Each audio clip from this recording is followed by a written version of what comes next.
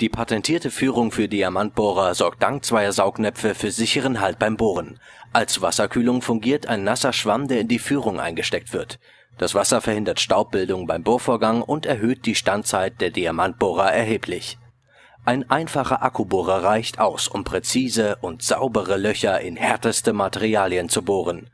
Mit den Diamantlochsägen von Wolfkraft gelingen ihnen saubere Bohrlöcher von 5 bis 10 mm Durchmesser in härteste Fliesenmaterialien wie zum Beispiel Granit oder Feinsteinzeug. Bohren Sie perfekte Löcher in Ihre Fliesen, schnell, ohne großen Kraftaufwand und ohne Staub. Das alles mit den Diamantbohrern von Wolfkraft und der dazugehörigen Führung